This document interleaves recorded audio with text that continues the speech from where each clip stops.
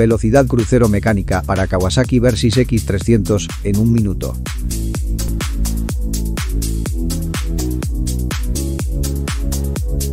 Procedemos a retirar el contrapeso derecho con una llave Allen de 6 milímetros.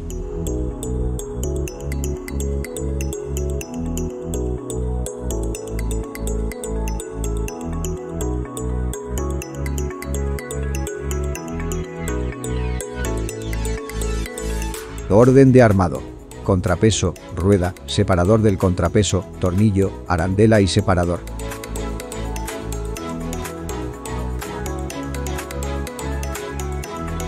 Las pestañas de traba de la rueda deben coincidir con las del manillar.